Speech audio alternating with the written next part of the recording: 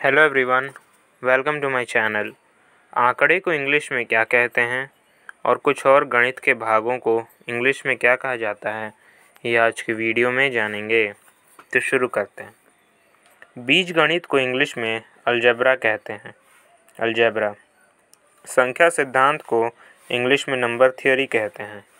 Number theory अंक गणित को इंग्लिश में अर्थमेटिक कहते हैं। अर्थमेटिक त्रिकोणमिति को इंग्लिश में ट्रिग्नोमेट्री कहते हैं।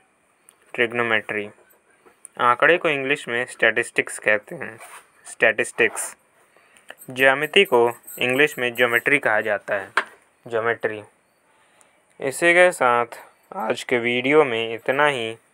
Thank you so much for watching my videos